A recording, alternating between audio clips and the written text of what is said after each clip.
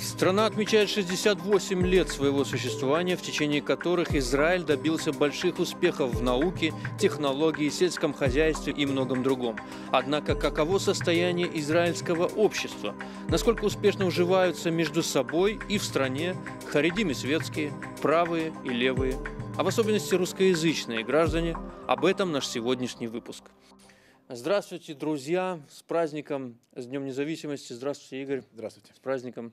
Праздником всех. А сегодня э, с нами на связи также социолог доктор Моше Кенигштейн, руководитель Дома ученых в Тель-Авиве. Моше, здравствуйте, вы слышите нас? Да, слышу, привет. Прекрасно. С праздником вас, Моше. Спасибо, дорогой. Вас тоже. Спасибо.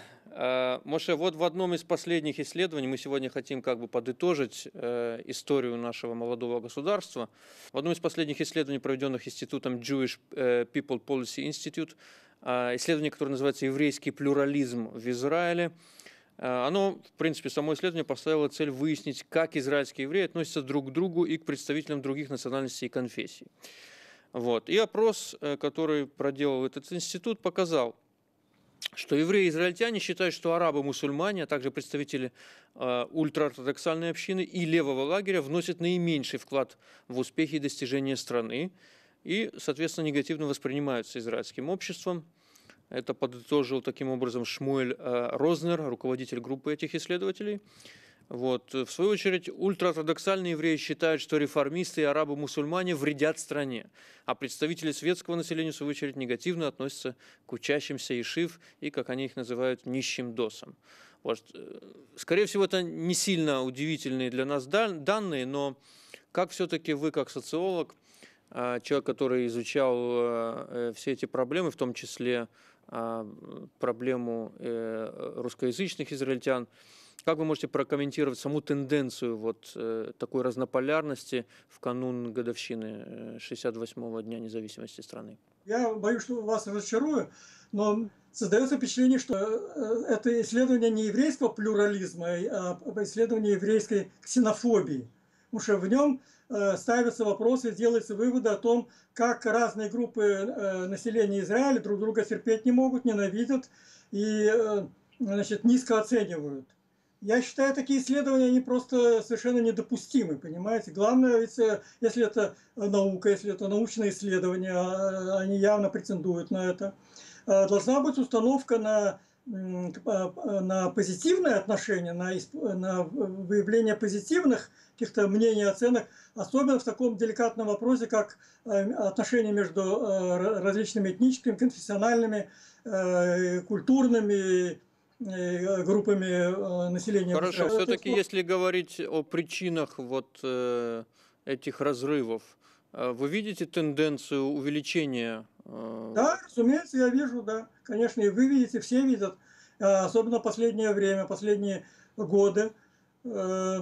Просто э, помните, когда мы приехали сюда в начале 90-х годов, э, была абсолютно уверенность в том, что э, общество консолидируется, интегрируется, что мы тоже, как русскоязычные израильтяне, довольно быстро, так сказать, найдем свое место под израильским солнцем, в израильском обществе, в израильской экономике, в израильской культуре.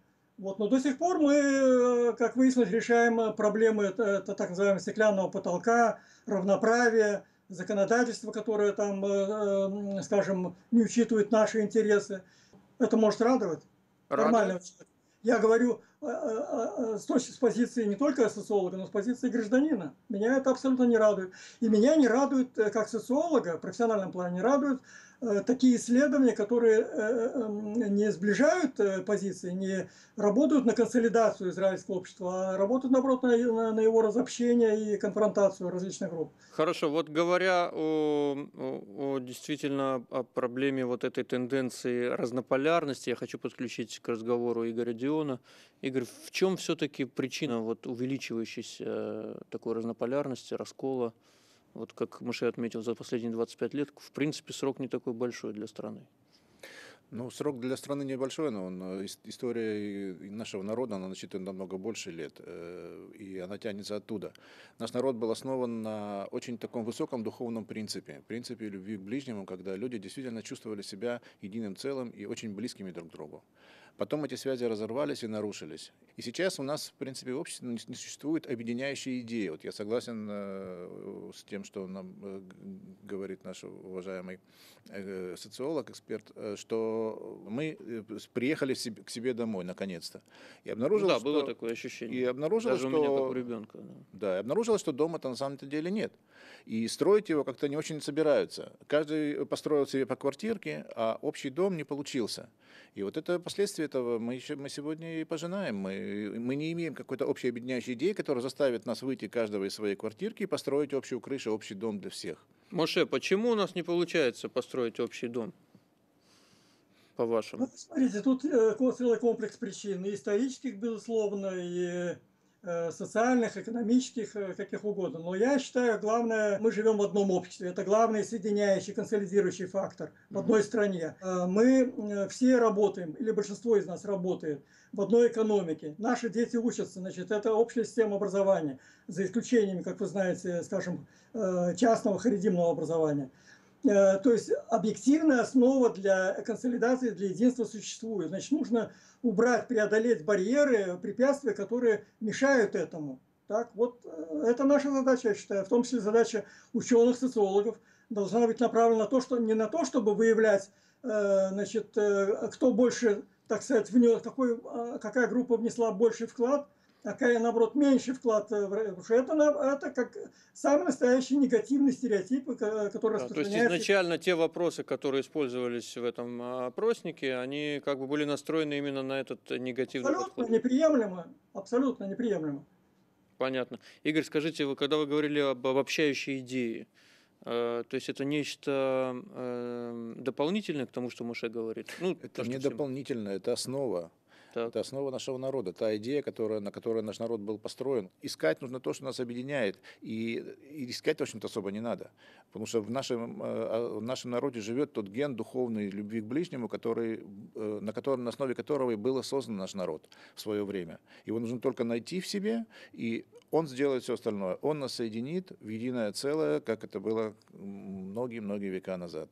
Муше, вот э, касательно русскоязычных израильтян, по данным ЦСБ, ну вот во всяком случае за 13 лет, э, если взять какой-то промежуток су- существования нашей страны, с 90 по 2013 год, из 511 тысяч израильтян, покинувших страну, э, 140 почти тысяч – это репатрианты из бывшего СССР.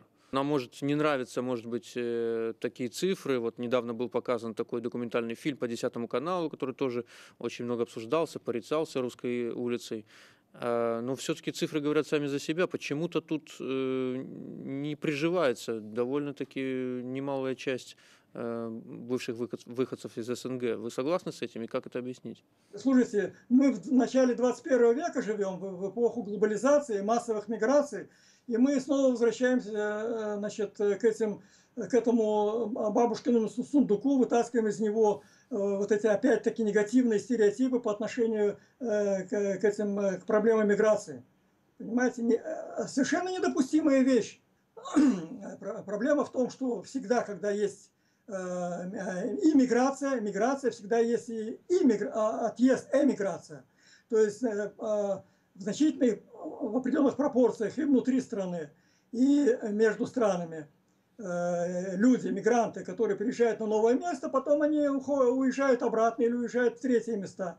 По- Пока они найдут себя, пока они на- найдут э, социум подходящий для себя. Это нормальное явление, абсолютно. Э, на- Насколько мне известно, по данным той же статистики, по данным исследований, значит, порядка 40% э, французских э, евреев, которые приезжают в Израиль, э, репатриируются в Израиль, возвращаются обратно. Порядка 40%. Порядка 30% американских евреев возвращаются обратно, при том, что э, это в основном религиозные евреи. Мгм. Понимаете? То есть их связь с Израилем э, более глубокая, более как бы э, духовная, скажем так. Наоборот, Я считаю, что русские евреи меньше других уезжают из Израиля, чем, меньше, чем те же французы или американцы или аргентинцы, которые пару лет назад, когда там был кризис, приехали сюда по, по, по несколько э, э, тысяч аргентинских евреев. Они почти все вернулись назад. Почти все. Если вы так э, это преподносите, то у нас есть еще один повод, Игорь, в этот праздник порадоваться. То есть не, не так плохи наши дела. Ну, наши дела действительно э, неплохи, потому что, во-первых, мы видим картину, которая реально перед нами существует, а во-вторых, если мы ее видим, мы ее можем исправить, то, что нам не, не устраивает в этой картине. Э, однако, все равно, мне кажется, есть повод нам всем подумать о том, почему все-таки люди уезжают. Я, я согласен с Маше, что это нормальный, естественный процесс. Э, люди ищут как бы там, где им лучше. А почему они уезжают? Потому что они э, не смогли здесь наладить э, нормальные, теплые взаимные взаимоотношения с, с окружением, со своим. Если бы у меня были э, теплые, хорошие, крепкие связи с окружающими меня людьми, я бы не уехал отсюда. Mm-hmm. А когда они... Коллега, я прошу прощения, я вас, я вас прерву, я, я с вами не согласен. Э, уезжают не только те, у кого не сложилась, э, скажем, интеграция и профессиональная, и социальная, и так далее. Уезжают многие, у которых, у которых все хорошо в Израиле, прекрасно. Сложилась и профессиональная карьера, и квартиру купили, но и зарабатывают хорошо. Э, например, работают в хайтеке, но многие уезжают, врачи, например, многие уезжают почему? Потому что им предлагают лучшие условия э, в других странах, вне Израиля. Кроме того, кроме того, эти люди, как правило, э, сохраняют очень тесные крепкие связи с Израилем. У них здесь остаются родственники, они регулярно приезжают сюда, они поддерживают Израиль из, тех стран, где они живут. Как, нередко, и я бы сказал, как правило, значит, бывшие израильтяне – или не бывшие израильтяне, которые живут в других странах, они большие патриоты Израиля, чем многие израильтяне, которые здесь живут внутри страны, никуда не уезжают. Игорь, ваша реакция? Маша, я не говорил о том, что э, эти люди, которые уехали, они не патриотичны. Я говорил о том, что люди э, не смогли социально устроиться, о социальной устроенности, о крепких, э, дружеских, теплых связях, поддерживающих в этой жизни, которые э, просто так не рвут. Если люди уезжают, значит, эти, эти связи ослаблены. При этом они могут быть действительно патриотами Израиля и сохранять э, очень хорошее теплое отношение к Израилю. Это одно другому абсолютно не мешает. Но факт, что они разорвали то, что у них было сегодня, и поехали в другую страну, говорит о том, что э, не только они виноваты, окружение их тоже не, не поддержало в этом. Ведь э, человек существо социальное, оно зависит, он зависит от, от мнения окружающих очень сильно. Если меня все окружают люди, которые говорят, в Израиле плохо, нужно уезжать, или даже если неплохо, а есть места, где можно устроиться получше, я начну думать в этом направлении. Если меня будут окружать люди, которые говорят мне, э, как хорошо мы здесь живем в Израиле, и, и это единственная страна, где должен жить еврей, и в таком э, духе, я никуда не уеду, потому что меня поддерживают в этом и укрепляют в этом мои, мои ближайшие люди, которых, которые ценны для меня, мнение которых я уважаю и ценю. Это не единственная, конечно, причина, но она является определяющей, почему люди уезжают или остаются. Спасибо, Муше. Хочу закончить тем, с чего вы, в принципе, начали. А, с того, что вот даже тот же самый опрос, э, с которого мы начали, он был а, э, основан на том, что Э, действительно призывал больше к разобщению, чем к сближению людей. И вы на это посетовали, на мой взгляд, очень даже справедливо. А, может быть, тут вот наша недоработка? Я бы сказал, что это не недоработка, это какие-то э, родовые травмы, не знаю, или, или, э, или родовые, или, может быть, уже последующие травмы и болезни роста. Во всяком случае, это очень серьезная проблема для Израиля, потому что разобщение – Э, общества израильского, его э, даже конфронтация, а вы знаете, случаи конфронтации, скажем, те же Харидим э, устраивают демонстрации, нападают на полицейских, жгут там и так далее, устраивают беспорядки. Это арабский сектор и так далее. А эфиопские евреи, вы знаете, не так давно это было, такие демонстрации. Вы знаете, это ведет для Израиля, это ведет к катастрофе израильского общества. Оно здесь, в этом регионе, Э, фактически, фактически находится в изоляции, если оно не будет внутренне консолидировано, а это зависит прежде всего от позитивного отношения э, друг к другу, а это в свою очередь зависит от э, политики израильских элит, от э, политики правительства, от политики тех, кто, собственно говоря, от э, средств массовой информации, от э, тех, кто, собственно говоря, создает общественное мнение, создает настроение, создает климат в обществе. Ну, Я Это думаю, очень- с этим э, Игорь тоже согласится. Ну, я бы сказал, не совсем. Э, в- Маше прав, действительно, от политиков и средств массовой информации зависит много. Они промывают нам мозги, но, с другой стороны, э, общество, э, как говорят, э, народ имеет то правительство, которое он заслуживает. Если мы готовы... Абсолютно согласен, абсолютно согласен с вами. если мы вот э, сами, э, они политики, у них своя, собственно говоря, сфера деятельности, которая практически не пересекается с нашей жизнью. Они, политики, пришли во власть для того, чтобы там править. Разделяя власть, вот этот принцип, который никто не отменял, они его очень четко знают. Им не нужно объединение народа. Им нужно разделить народ, чтобы управлять каждый своим, э, своим сектором. А мы, народ, должны этому, собственно говоря, противодействовать. Если мы начнем эти попытки сближаться сегодня, вот как, правильно сказал Маша, не, искать не различия вот в социальных опросах, каких-то вещах, во всех, не искать различия, а искать то, что нас объединяет, мы в конце концов придем к этому объединению. Может быть, этого и пожелаем, Муше, в этот праздничный день. Согласен, абсолютно согласен, да. Согласен, да. Это именно то, что мы должны делать, каждый на своем месте, э, по отношению к соседям, коллегам, к знакомым, просто к встречным людям, э, для, для того, чтобы как-то изменить этот климат, для того, чтобы изменить эту пока что крайне э, тревожную атмо- атмосферу и тенденции в обществе. Муше Кенигштейн, социолог, доктор Муше Кенигштейн, руководитель Дома ученых Тель-Авива. Спасибо вам большое. Еще раз с праздником. Спасибо за участие в нашей передаче. Спасибо. Спасибо вам, Игорь. С праздником вас, с праздником всех наших зрителей. Пишите нам, реагируйте на наши странички в Фейсбуке открытого телеканала. С Днем независимости. До новых встреч. thank you